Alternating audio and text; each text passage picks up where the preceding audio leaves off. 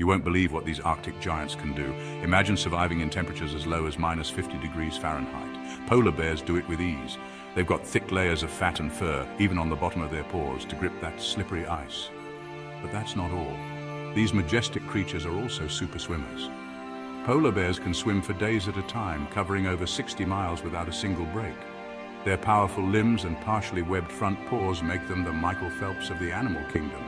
So next time you think about the Arctic, remember the incredible polar bear, nature's ultimate Arctic athlete. Pretty cool, right? Camouflage King's polar bear fur appears white but is actually translucent, reflecting the snow and ice around them, which helps them blend seamlessly into their icy surroundings.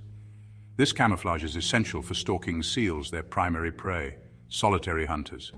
Unlike many animals, polar bears are mostly solitary.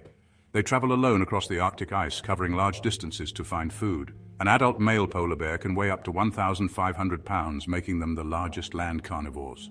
Climate change survivors polar bears are increasingly facing threats from climate change as the Arctic ice melts.